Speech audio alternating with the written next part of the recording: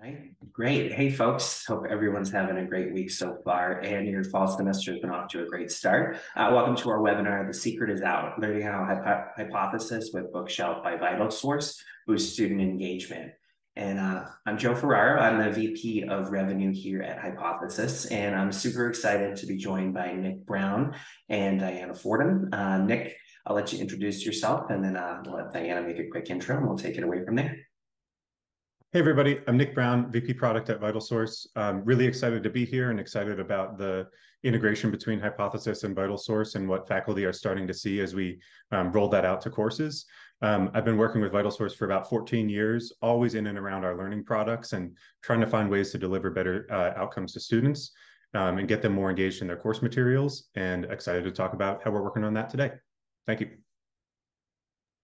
I'm Diana. I'm, I'm faculty here at MSSU um, in Joplin, Missouri. I actually, my main role is a course designer, um, but the love of my life is the teaching part of it. And so I'm the instrument here on campus that is really trying to um, have faculty adaptation to hypothesis specifically with Bookshelf because Bookshelf is our second tier of open educational resources with our cost student cost saving initiative. So it's been a great opportunity to work with both Hypothesis and VitalSource to deliver some quality um, products to our students. Amazing. And thanks again to both of you for being here. It's definitely a busy time of year. Uh, so we're going to cover a few things uh, here on the call. First, talk a little bit about the Hypothesis plus Bookshelf for VitalSource integration. And Nick's going to take a quick product tour. Uh, then we're going to talk about the impact of social annotation on e-text in the VitalSource uh, bookshelf environment. Uh, then we're going to open it up for a really exciting conversation with Diana about her experience and some of the things that she's seen. And then at the end, we are going to open it up for Q&A. Uh, so our chat's been disabled. We got a lot of folks in here, but there is the Q&A function available. So feel free to ask your questions at any time. Uh, if it makes sense that with the topic we're covering, we'll cover it live. Otherwise, we'll make sure to cover all your questions before the end of the call. Uh, so with that, uh, let's take it away. And uh, Nick, I'll hand it over to you to talk a little bit about our partnership. All right, great. Um, so I'm going to share my screen here and dive straight into a demo. Um, and uh, going to be pretty quick here, try and get, get through this in just about five minutes. And um, you know what I, I, hope you'll see as we get into the, the demo is that for anyone who's familiar with either our bookshelf e-textbook reader you know, kind of the most most popular reader in higher education, or familiar with hypothesis tools for social annotation, I think you're going to really quickly quickly recognize what we're trying to do here and why we brought these two products together. Um, it's it's a pretty you know simple and straightforward integration, but delivers really nice impact for instructors and students. So let's start with what's the student view of an assignment um, when we have an instructor who's created a hypothesis assignment for a book inside a bookshelf. Um, here we have an assignment about the Brown versus Board of Education decision. Um, and as we launch into Bookshelf, what you're going to see is this is the entirety of our kind of standard e-reader experience. Um, you know, we've got all of our typical features in Bookshelf, you know, open up the table of contents or search the material, everything like that. But instead of the notes and highlight tools that we have in our standard version of the, the e-textbook reader, um, we have the hypothesis tools embedded. Um, so as I work through the material here, reading Chief Justice Warren's decision, um, I can highlight the text and make an annotation that is not uh, feeding into you know VitalSource's highlights and notes database. It's actually feeding straight into into hypothesis. Um, you know, similarly, if I'm in the VitalSource demo panel here over on the right, this is the hypothesis panel that you would see on a PDF or on an open website or any of the other materials that have been available um, for years to, to kind of wrap social annotation around, all the features that you would expect here would work. So um, here we have an annotation that I made a little bit earlier, and I can click that and it'll scroll the textbook material right to that point where that annotation was made. So I can dive into the discussion, right, and see what folks are talking about. Now, the notes and highlights that you see here are not uh, global, right? This isn't showing from everyone in the world who has ever read this textbook and made some annotations on top of it. This is scoped to my, my class cohort, right? I mean, as we get into creating assignments, I'll show you how you can even scope that further if you wanna divide students up into smaller study groups. Um, so here, this is a, a, comment that I added earlier, um, trying to emphasize um, some, some positive aspects of Chief Justice Warren's opinion. Um, and you know, this is me starting the conversation as an instructor. And you can see here we have a couple of test student comments, right? Of varying degrees of quality, right? Um, so the other thing that I want to jump into and show you um, after we look at how to create one of these assignments is how this feeds into easy grading of these comments and easy grading of the student participation in the discussion right inside of the LMS. Okay, so let's jump back to Canvas. Um, here I am in the LMS. I'm looking at my current assignments. And um, what I want to do is create a new assignment here. And let's call this assignment um, Great Gatsby chapter five. Of course, you can add your typical notes as you would for any assignment. Um, highlight an interesting passage and comment on how it reflects Fitzgerald's writing style. Uh, wrap some points around it. And then here, when I'm creating the submission type, what you want to choose is external tool. Use the hypothesis uh, external tool. And for anyone who's done this before with hypothesis, again, you'll notice a key difference. Um, you've always been able to choose a URL or a link on Google Drive or a YouTube video as the source material for your social annotation assignment. Here we've got VitalSource. Um, you, will also see JSTOR listed there, who Hypothesis also recently partnered with, and I think they have a webinar coming up with them soon. Um, but here we'll choose VitalSource, and all that you need to do as the, the instructor or the instructional designer um, is drop in a link to the right book um, inside a bookshelf. Um, so let me grab that here. Paste that in. Here you can see it's, it's chosen The Great Gatsby. Select that book. We pull uh, information from VitalSource, right, about that textbook so that you can choose the right portion of that book for the assignment that you're creating now. If you want to create a number of different assignments about different chunks of the book and assign points to each of those individually, this lets you do that. I'll choose chapter five. Uh, this is where I could choose to turn this into a group assignment, right? And, and choose different study cohorts if I want to have small groups that each have discussion with each other rather than opening it up to the entire course. Um, hit continue and we're, we're ready to go. Um, you know, I would recommend loading that tool in a new tab because like we saw earlier, we're opening the entire e-textbook reader experience. It's a, you know, a, a, a lot of content to, to fit inside of the LMS. Um, but everything that you have in the LMS around the assignment kind of is, available. Uh, set the attempts, change when you want to have this due, and publish that out as a new assignment. So hopefully really easy to set one of these up, really easy, especially if you're familiar with hypothesis. It's just another kind of content type. Um, and then let's take a look, last piece of the demo that I wanna make sure people see here um, is what grading looks like. So in Canvas here, we're using the, the speed grader to grade those Brown versus Board of Education um, uh, annotations that we looked at earlier. Let me make sure I get to the right student here. And what you're going to see as you go through the grading experience, um, you know, I, I, think is really slick um, in terms of what the hypothesis team put together, um, is you can see the, the underlying material. You can see that, that students' contributions to the conversation right here in the context of where you're grading it. So you might say for that first student, agree great writing, you're just really not contrib contributing meaningfully to that discussion that's going to receive a pretty low grade. The second student who kind of meaningfully engaged with my seating the discussion and, and even kind of extended my thoughts in a new direction, I actually think that's pretty darn good. I'm going to give that a 10 out of 10. Um, so that's really the core flow to understand. Um, you know, again, hopefully, if you're familiar with either of our tools, you see how this is a pretty easy way to weave them together. Um, you can launch those books straight from the LMS using LTI, land in the book that you've assigned, land in the right part of the book, um, land there with the hypothesis tools enabled to have that social discussion right there in context with the book. And then it's easy for you when you're designing out that course to create those assignments and then of course grade them in the student particip participation as you work through the term. Let me stop there and I'm going to hand it back to Joe to uh, take a look at what we're seeing as the, the impact of this when we have it implemented. Great, and uh, thanks for that demo. It's really helpful to see how easy it is to connect this to Bookshelf by VitalSource and how you can really get students more engaged on, on the readings, and that's really what we're all here to do. Uh, there was one question in the Q&A, Nick, before I dive into the case study, uh, just curiosity about uh, student data and where it's hosted.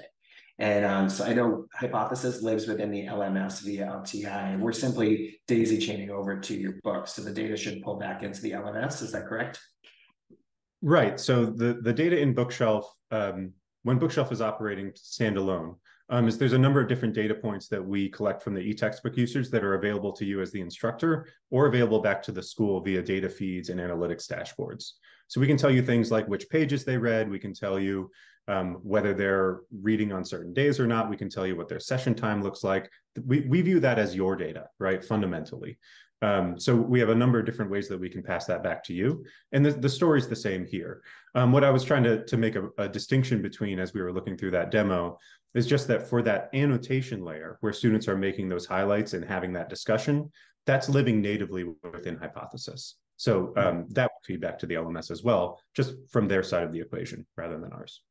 Yeah, and just on the hypothesis side as well, because this lives in the learning management system, your account management team would be able to share a lot of the annotation data specifically in terms of your students' levels of engagement. And it's really easy to hook it up to the grading platform as Nick just demonstrated with SpeedGrader and Canvas. We've got that native grading integration across all of the major LMSs.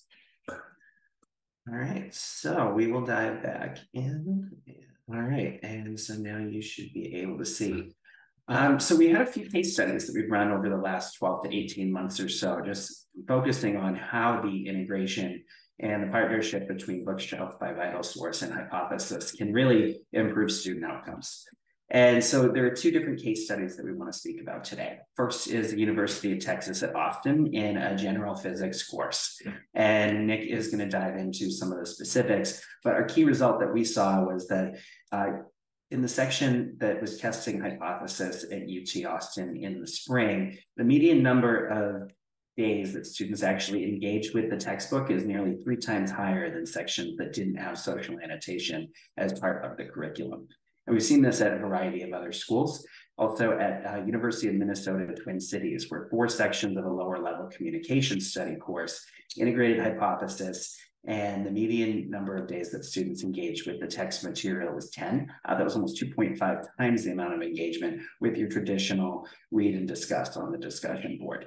And this is valuable for a few reasons, but uh, Nick, I will let you talk more about it because uh, this is something you worked really closely with. Yeah, thanks, Joe. Um, so uh, before I talk about this specific chart, I, I want to put um, you know, student engagement with their e-textbook in a little bit of context for everyone. And this is probably old news, right, for anyone who has assigned textbooks, but um, there's been some really interesting data and, you know, data sharing recently around what student engagement with their assigned readings in textbooks really looks like. You know, this is one of the fundamental advantages of digital over print is that we at least have that visibility. We can tell the story. We can understand what's happening with that assigned material. Um, and, and one great way to put this into context for you was a, a, really nice paper that came out earlier this year at the Learning Analytics and Knowledge Conference. It was called Instructional Strategies and Student e-Textbook Reading. It was all about saying, what does student e-textbook reading look like? And as an instructor, what can you do to drive the kind of reading behavior that you care about? And the headline takeaway from this paper, and I'm, I'm happy to drop a link in the chat um, in a minute, um, was that if averaged across everyone that participated, I think it was 86 instructors across four different universities, 37% of the assigned pages of reading that, that instructors assigned actually got read by students, only 37%. Um, they then divided this, the instructors into two different cohorts, right? Did they use some strategies to try and drive behavior and drive that reading behavior? Or did they just kind of toss it on the syllabus and see what happened? Among the cohort where they didn't use any of these uh, instructional strategies, things like reading quizzes or journals or clicker questions at the start of class that you promise students are coming straight from the book. Those are the kind of strategies they looked like looked at. If you didn't use any strategies, just 15% of the pages got read and one in 10 students read half of their assigned reading. So that's the landscape, right? That's the reality of what's out there right now in terms of student engagement with their textbook content.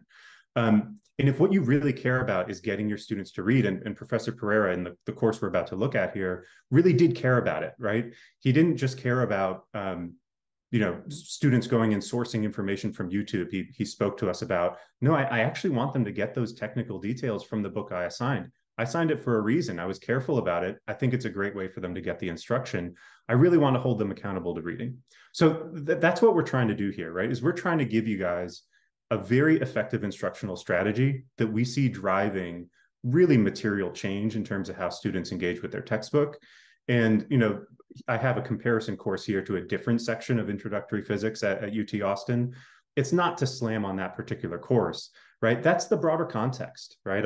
Across all of those courses that got studied, the average student read 37% of what they were supposed to. So let's let's talk about the specific chart and the, the impact of the integration with hypothesis. So what we're looking at here is, you know, on the x-axis, the number of days in the term that a student studied. Really simple. Did they open up their e-textbook reader at all? You know, we're not driving into session time. We're not asking, are they using every feature in the reader? We're asking them, look, did they crack open the book or not? Right? Pretty, pretty low bar. Um, and what we're looking at on the y-axis is how many students in that course used their textbook on that number of days. And the median number of days in uh, Professor Pereira's course was about 35 days in the semester that a student opened up their textbook and engaged with the material. It's a really great outcome and it's a really dramatic improvement from what we see in kind of a peer course section where they weren't implementing as effective an, of an instructional strategy. If you want to flip to the next slide, Joe, we can look at some of the, the numbers here. Um, you know, I, I, mentioned that in the sections using hypothesis um, wrapped around the bookshelf textbook content, we had a median of 35 days, an average of 34. In a couple of different comparison sections of the same course at the same university, you can see those numbers just look a little bit more typical. They look a little bit more like what we hear about in, in that paper.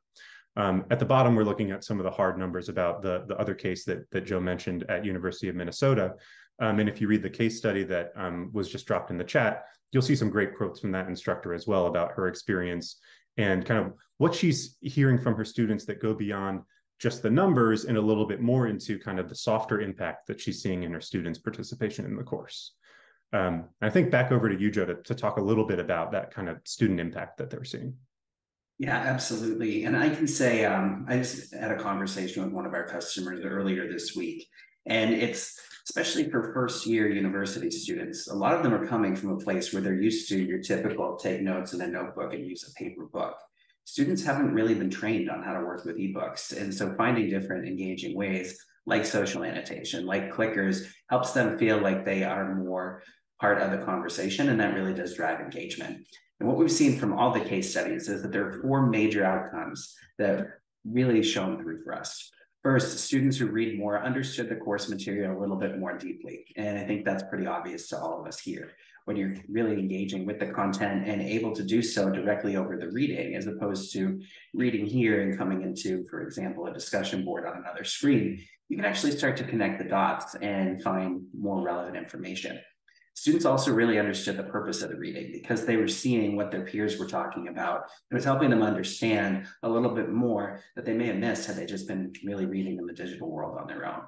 And both of these things really tied into improved critical writing and thinking skills. So students are having more in-depth conversations. They're not just saying that's a great post like the first demo student that Nick showed us. Students are having conversations in the margin of the page that are actually driving outcomes in the course and allowing the learning to take on more meaning. It's not simply, I'm doing this because it's my assignment, but I'm doing it because there's a, a bigger conversation that we're going to have throughout the course and tying that course material directly to the content of the course itself.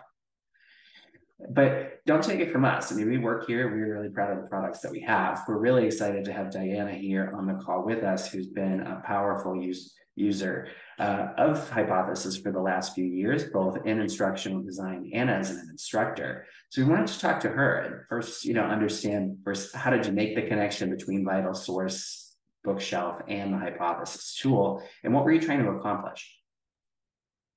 Well, this, um, so everyone knows, in 2018, I was probably one of the first um, professors on campus to use VitalSource um, because I'm the head of the OER committee. And so that student cost saving initiative kind of led me in that direction. Um, I have to say that we probably 95% of our faculty use VitalSource.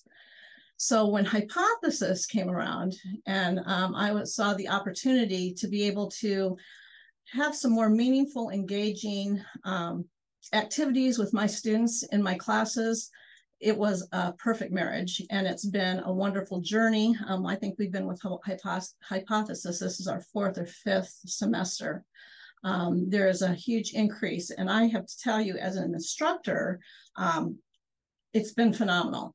And here's two of the reasons why. This summer, I taught an eight week Western civilization course, and it was an online course.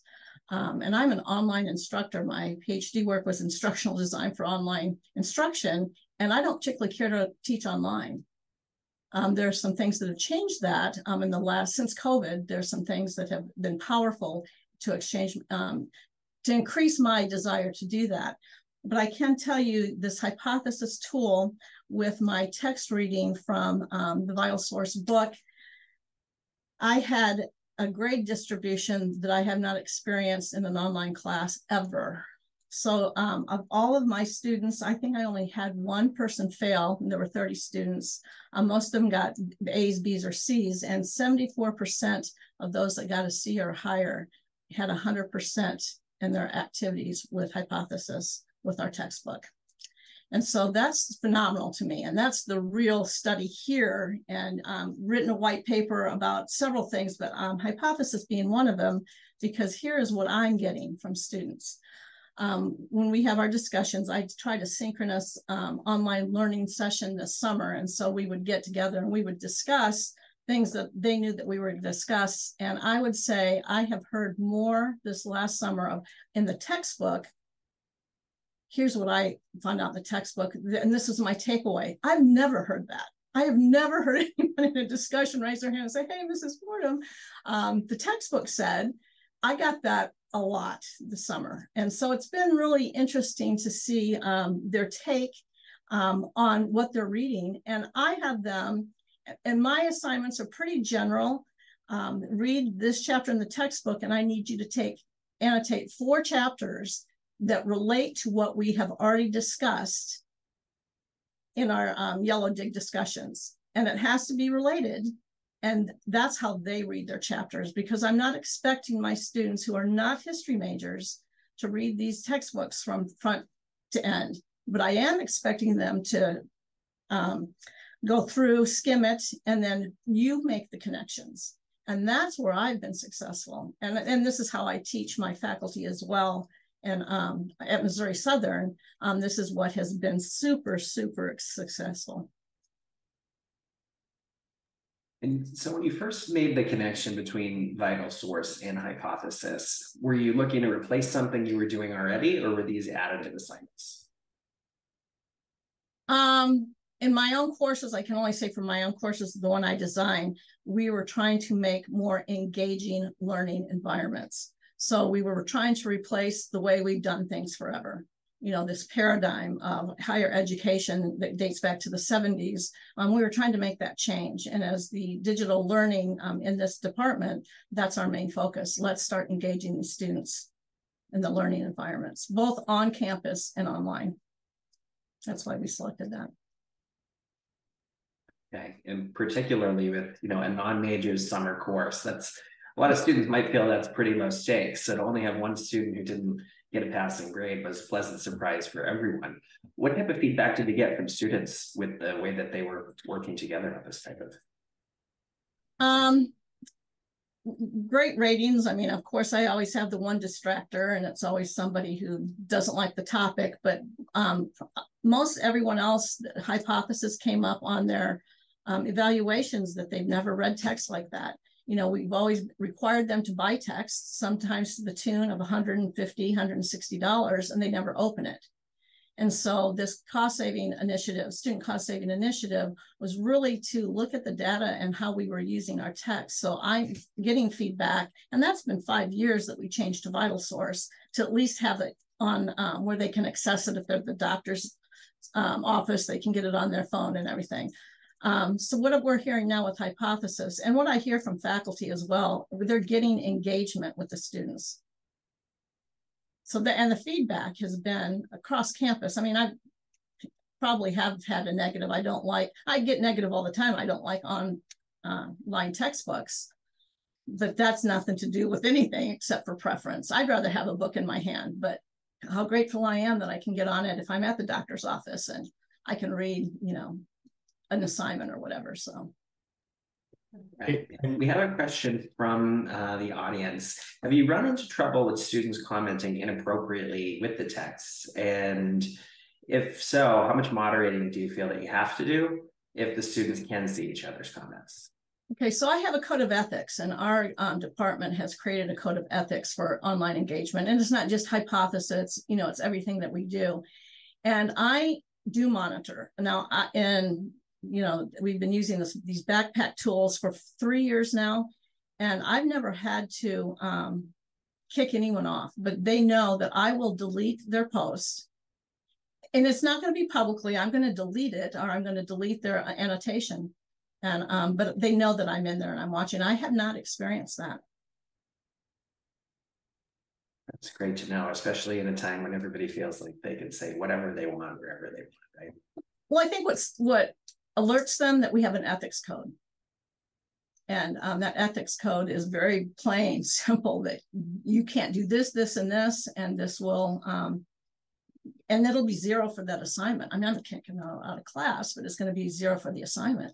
And my hypothesis work is 10% of my grade. It's a whole letter grade. So it's So if you serious. don't- So if you don't participate, you're not gonna get that A. Correct. That is correct.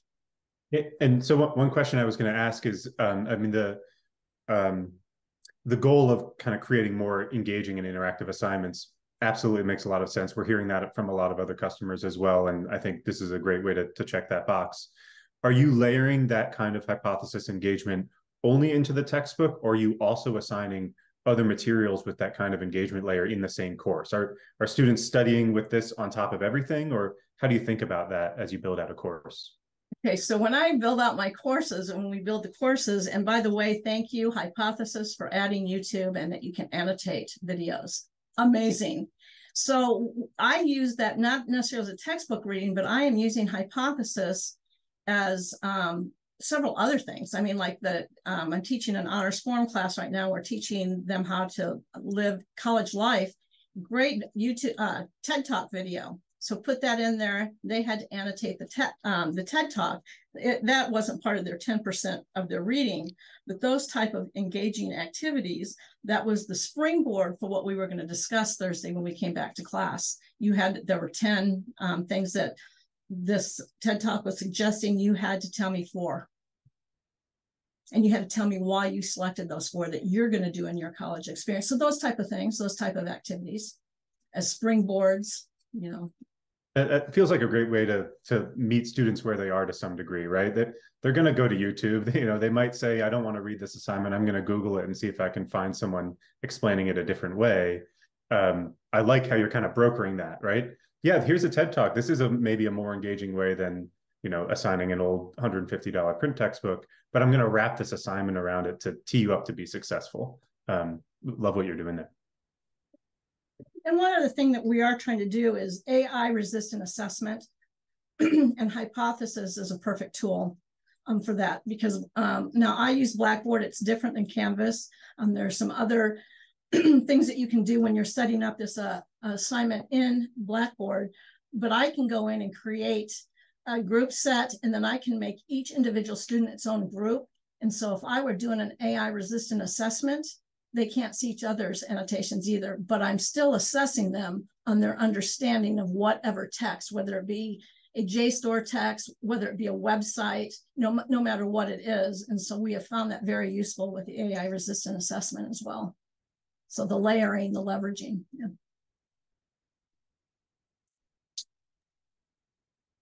And so putting these two tools together, it really allows you to get a more meaningful experience across uh, across the reading and across multiple different types of content sources. As you mentioned, we've got our video annotations, and then um, Nick had mentioned things like JSTOR. One thing we're hearing a lot about, especially now, is multimodal and UDL. And so, how do you focus on that in your course? See, and that that incorporated um, incorporates so much more than just hypothesis. Um, but yeah, there's some resistance to faculty, not from students on that, right? Um, because the students, especially if you set it up correctly, those are links to the assignments. It's not, it's designing with it that is a little bit cumbersome um, because you have, as an instructional designer and the instructor, you have to know all the ins and outs and hypothesis in that sense is a little bit more um, ta not taxing but requiring because you have to in, in blackboard it is you know you have to set up a separate folder and then you have to have the permission set correctly. and since we're experiments experimenting with collaborative learning, I'm sorry, across Missouri, we're running into issues like that. So it, it's it's not it's intuitive if you know what's going on, but it does take some time.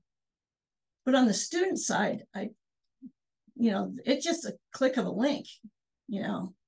As the faculty side, it's been a little bit more, but we're here. And I can honestly say we're here 24 7 because I answer calls outside of my office hours because usually when professors are having issues like this um, or issues with connecting or whatever, I'm I'm there for them to troubleshoot. One of the things that we heard from uh, Professor Pereira uh, about his course at UT Austin, just kind of dovetailing off the idea of how easy can we make it, right, for the faculty to set up and, and easy for the student to access, um, is that he's been been using Bookshelf for some time. Um, we have a, a, a partnership with UT Austin, and he really cared about driving e-textbook engagement and he tried a few different things to do that right that weren't as integrated and weren't as seamless as what we do in our partnership with hypothesis. You know the, the best example was the semester before he piloted with us um, he's you know did a bunch of work right? He spun up a dedicated discussion board using a different product and the assignment that he gave his students and, and assigned a similar portion of the grade to it was go into your textbook inside a bookshelf take a screenshot paste it into this discussion board and then do your you know mandatory assignments over there re- reflecting on the material the, the, same kinds of assignments as what you, you put together. Um, and what they saw was actually really good numbers if you look at student engagement it worked right because it was part of the grade it you know you you put that grade carrot or, or stick out there you're going to see students move for it um, and we've seen similar results across a number of different things as long as you're assigning that five to 10% of the grade, you know, something in that area, you're going to see students motivated. Um, but they hated it. The students hated it. The feedback they gave at the end of the term was that it was clunky and cumbersome and hard to do. Um, and he and his TAs hated it too because it was just so hard to grade, right? They had to go into that separate product. They had to read all those threads. It wasn't integrated into the LMS. They had to cook those numbers and get them back into the grade book. It was just a really big hassle for the students and the instructors. So it's an interesting example where if you look at just the engagement, if you look at just did students do the reading, you know, job done, right? It succeeded. But if you look at the student experience and the instructor experience, those kind of decoupled products, they just they missed the mark, right? They needed something more like what we have here, where the student clicks the link and they're in, right? Simple as that.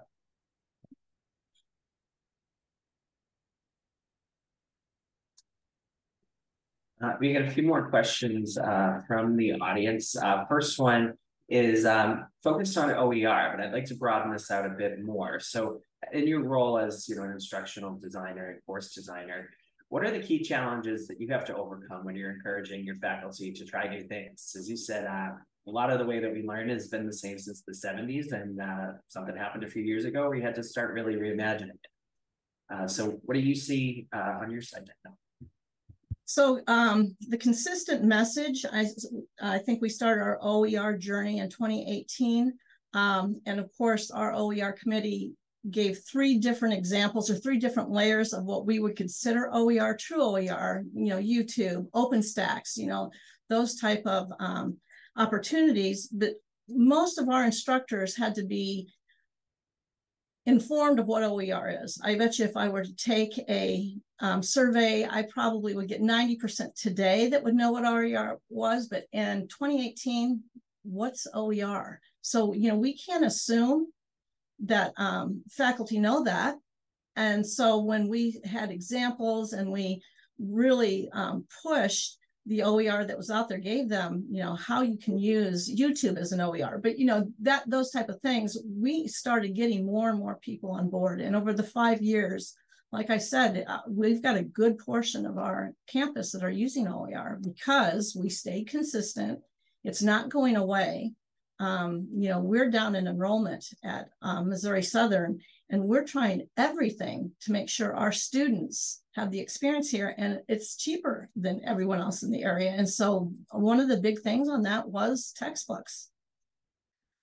And so, you know, and it is that student cost saving initiative. Um, you know, and we're actually going to start doing our courses when they search for, let's say, a Western Civ class, and they can go to my class and say zero cost for textbooks. But if they go to, let's say, Dr. Smith's class, 157 for textbooks, that's not a popular idea, by the way, because that puts competition, but we're kind of desperate right now because enrollment's down.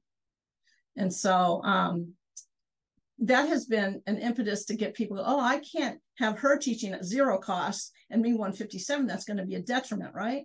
For my enrollment. So you saw more people seeking what is this OER and how can I use it? So one thing that's really interesting for me to hear is just kind of how you frame VitalSource within that OER initiative and conversation. Um, you know, uh, uh, the the subject of affordability for students is a huge part of what we do. Um, and that includes things like um, delivering OER. And we actually have a really exciting partnership with OpenStax that we're working on that's that should be coming out soon. Um, but it also means making those textbooks from those frontlist publishers, those frontlist titles, a lot more affordable, right? So when I, I hear $157, it stings my ears, right? That's just a painful number for a student.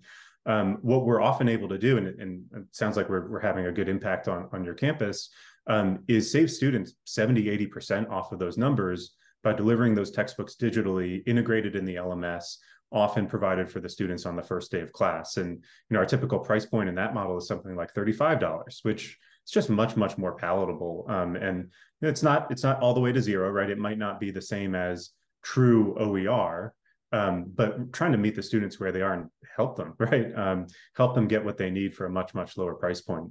Um, so you know it's I, I, love how you're putting it it's yeah it might be a pearson textbook but we're thinking about it on this continuum of affordability where it's still a win compared to $157 right, um, right. so it's, it's really interesting framing um, to hear well and just note too we're not students are all in for saving money it was convincing the faculty that they needed right. to in for saving them money. And instant access uh, it's part of the when we first started remember um, even if you went to norton or if you went to pearson it had was an access code and you had to go to this bookstore and you had to buy the access code. Nine times out of ten there was a problem you know? And so you're a week two and before students can get textbooks. Instant access means in our, on our campus they're um, already it's part of their tuition cost. And so they come into the class, it is there. The book is there for day one.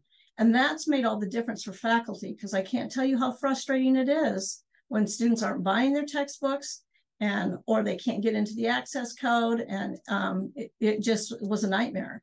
So the instant access, that first day access has been part of our selling to the faculty that, yeah, this is okay.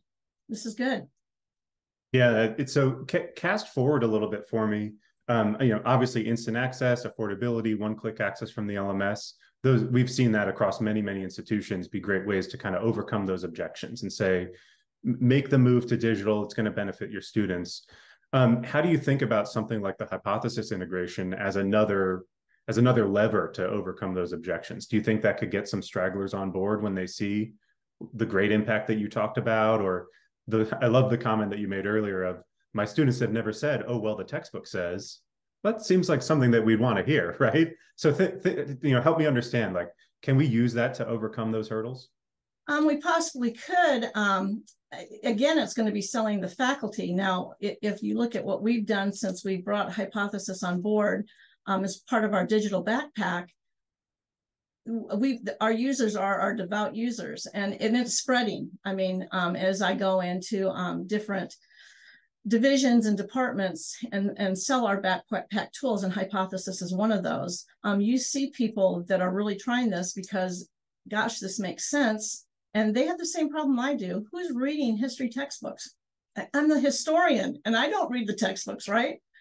And so it's um, it is a way of engagement and it's a way that most faculty, once they see it, if they'll take the time, the only drawback we have is that it takes some training. It's not it's not intuitive for faculty. You do need somebody to show you, and you guys offer great training, webinars, you know, and we have instant access to their IT and your IT. When we have a problem, they're right, Johnny, on the spot. They're they're fixing our problem. So um, it, has been um, it's been again just drilling in um, and being consistent with the message. There's another annotating software out there. It's Perusall. I, I shouldn't have said it. Sorry, but the only reason, and we were on that before, but it's not an overlay within Blackboard. And the students' information is out there because they have to sign up for another tool. And see, we're a little bit iffy about that. So the fact that hypothesis fits right in our LMS and our students' data, our students' name are not compromised at all because it's an overlay within the system is a selling point for a lot of our faculty. We hear that a lot, just the general interoperability between not just your learning management system, but now it's provisioning the bookstore. So if you have first day access or equitable access, the student gets the materials that they need on the first day. I can tell you when I was in school 100 years ago, I would have loved to have not waited in line for a book I wasn't going to ever actually have to open because there wasn't a tool like this. But um, there was a question in the chat that I want to circle back on because um, they mentioned specifically uh, advertising a zero cost textbook versus a low cost educational resource. And I think content in general, somebody has to work to put it together, and it's never all going to be free, but there is a way to make it more equitable. How do you really differentiate between the different tiers of no cost, low cost in general? Okay, so OER, um, true OER was zero cost. And, and you can do that. Rice University, you can download their book, you can split it up into PDFs and you know the chapters, and that's an awesome. Um, so zero cost was true OER. And define that you know, preach that.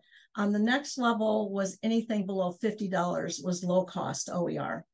Um, and, and, again, we did that level, and the third cost is anything above um, $50, um, but below 100 you know, and so that's how we did it. But we had to do that as the OER community. It was part of our strategic plan in 2018 um, that we had to get that out. We had a 968% increase in the first two years of when we defined it that way and able to tell the state, to tell the um, administration. Um, our second strategic plan just started and we are still going to continue defining OER and using hypothesis and those type of things to engage. Um, and again, a student low cost initiative.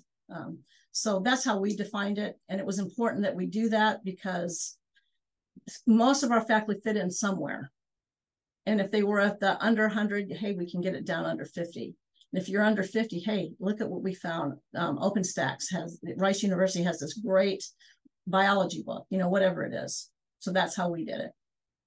One thing, just sharing a, you know, sounds like a really successful, you know, rollout at 900% improvement is is wild. Um, just sharing that we've seen very, a very similar strategy applied at a lot of different universities, and it's been similarly effective in in many places. I've heard that $40, 45, 50, somewhere in that range often ends up being the threshold below which we say, yeah, it's not all the way zero. It's not true zero cost. It's maybe not not OER, but you're getting the learning materials that you want to get to your students for a very reasonable price, much, much more than that new $200 print textbook that you used to assign a few years ago. Um, so it, it's a really nice way to kind of bridge that gap between oh no, it's going to be a lot of work for me to get all the way to OER. I have to find all new materials. I have to completely change my teaching and curriculum. Well, maybe there's a stepping stone that helps you save students a lot of money in the meantime and just land in that range, right? Under 50, under 40. That's a really meaningful way to help students, even if you're not completely ready to change all of the materials that you assign. Um, and you know those numbers are, are fantastic. Kudos on that. Yeah, it was very successful. I think, uh, especially in public institutions, cost cost savings and affordability is one of the number one reasons students and their families are so nervous about higher education in the first place. So they're definitely lucky to have folks like you in their corner to help them try down. Uh, we have one last question in the Q and A, and um, I'm going to try to paraphrase it because I think I understand it. So at the end of each course, they typically will have your reviews, which I think you mentioned. You know, the student who hates the e-text, etc. But uh, how one thing that they want to understand is how well the instructor, the material, and the assignments fostered a commitment and life of learning. How do you think something like social annotation can fit into that, where students have to really remember a lot of the knowledge that they've gained to move into their careers, for example, and go beyond the classroom? How do you think this can help students not just live up to the code of ethics and get good grades, but just become better thinkers and readers overall?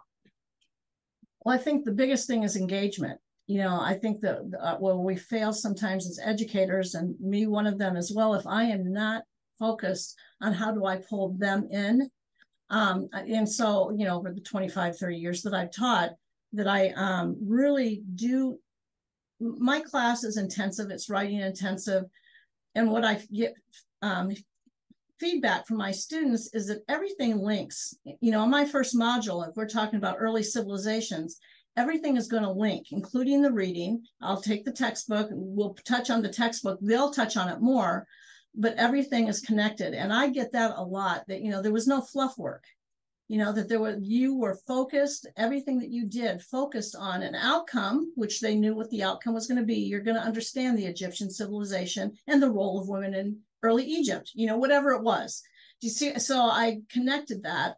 And I see more of that going on across campus as I work with faculty as well. That, you know, that their students are starting to say, this was fluff work. I, I'm tired of doing fluff work meaning nothing that was is connected. And so I think that does that answer the question that that's how make sure everything's connected. Yeah, I think it it answers the question the way I understood it. And something that we see even internally is tools like this, as you're saying, it spreads through your faculty. We're seeing it actually spread at the student level. I had hypothesis in my course last semester. It was really helpful for me, and they're sort of peer pressuring their instructor to adopt these additional tools. And so I think especially the way we consume digital content has changed a lot in the last five, 10, and 20 years. It's going to continue. And just being able to, you know, tie the things that you're reading to something in real life and something that's applicable, that's a skill we can all, I think, use. Well, and one more thing, if I can add to that, is that you know I record my lectures you know from my desk and I keep it at 15 minutes because I'm chunking it. I'll put it on um, YouTube and now I can have them annotate my lectures with the new tool and that is cool because you know because they they see me that i usually record from my home office and so there's some things going on there but um, they and i get feedback on that because they can annotate what i said and sometimes they'll say oh that was a cute cat that ran across you know whatever you know kind of ridiculous but engagement again that's what i'm talking about it's engagement so I was grateful that YouTube um, was one now one of the things we can annotate. I think that's a huge, huge plus. Yeah, we're super excited about it. And I'm really excited to hear that you're already asking students to annotate the lectures because I mean, the statistics are out there. Almost a third of students, whether they're supposed to or not, never physically show up to class and you're missing a lot. And so to have ways to engage whether we like it or not, we need to open up those different avenues. So kudos to you for getting that up and getting people to start annotating those transcripts so quickly. This has been super helpful, and uh, I know we're running up on time. I do have one last question for you, Diana. Uh, there's a lot of tools out there. There's a lot of tech and faculty, students, and even us. We're probably all sick of adding new tools. What would you say to someone that isn't quite sure about social annotation to tell them this is going to be a benefit and not just extra work to add? Well, I'd say the as far as the extra work, you might have to put a little bit in on the front end to do this and to learn it. But after that, it stays constant because my Western Civ, although I might add different readings, the textbook for at least the next two years are going to stay the same. So putting that work up front. But again, if your goal is to engage students in learning, I don't know of any other way with the text or with the readings or with the even websites. I, I have them annotate websites. Um, it, it, I don't know of any other way to do that and I can't take the time out of, uh, especially an online class, I can't spend an hour and a half in a lecture to go over that. I can spend 20, 15 to 20 minutes max giving my lecture or whatever. I'm engaging in there, but other activities need to frame and to bring together my end goal for each module. And so I, I don't know of any other way. I, how did we do it before? it kind of seems, oh my gosh, what did I do before? But yeah. That, that was one of the that was one of the you know painful takeaways from that that paper I mentioned earlier. You know, they looked at 15 or so different strategies for driving effective engagement with textbooks, and most of them didn't work, right? Um, so I, I feel that pain, and you know, glad we found something that that clicks with you and your students. Yeah, I see that Joe asked for the request for the white paper. Is he talking about Nick's white paper or my white paper? Uh, so you mentioned a white paper earlier in the call. I got a message um, direct just asking if that's something that's ready for I'll share it with you. Um, please note that hypothesis is part of it. It's not all on hypothesis. Do you want me to do that? Because it's all of our backpack. Yeah, I mean, digital learning tools in the backpack, I think that's that's the direction a lot of folks are going in now is bundling the tools that you're going to use. So it might really inspire some folks that are on this call and that can make it to uh, really embrace digital transformation. So yeah, I'd, I'd certainly love to see it. Yeah, it, it's a, it's a way to, and again, the whole thing is engaging students in an online learning or face-to-face learning environment, a true learning environment, not a sage on the stage, but a guide on the side type. Yeah. Learning environment. Okay. Great. And we'll be sure to, if, if you're okay with it, we'll be sure to include that in the follow-up email as well. You bet. So, and just to wrap things up, thank you both so much. Um, we will be um, sharing the recording uh, tomorrow to all attendees and for those of you who weren't able to make it. Uh, but if you do want to learn more about the case studies or get started with social annotation, feel free to reach out to the team here, uh, education at Hypothesis. And to get more information about Bookshelf, you can hear how it's transformed things at MSSU. It's a great opportunity to really bridge that digital divide. We'll have a link directly to the VitalSource website if you can talk about Bookshelf and uh, all the other great tools as well. And so uh, we do integrate with all of our shared customers across the VitalSource Independent School Network. And so there is no additional cost for our partner institutions to use these connections currently. But if you're not a Hypothesis subscriber, we do have an amazing offer for first-time users for our Spring Starter promotion. Uh, it's discounted pricing with unlimited access to all students on campus, faculty workshops from our amazing customer success and account management teams, and the opportunity for some professional development credit with Hypothesis Academy. Uh, for folks who sign on before October 31st for the spring, we'll actually turn you on early this fall and give you an extra few months to get active, visible, and social. So that is all we've got for today. So again, Nick, Diane, I want to thank you both so much for taking some time and uh, for all the work that you both put in with Hypothesis over the last few years. Glad to see that students, faculty, and everyone else are benefiting. And uh, really want to wish you both a great rest of the week and have a fabulous weekend. Thank you very much. Have a great one. Thanks, Thanks everyone.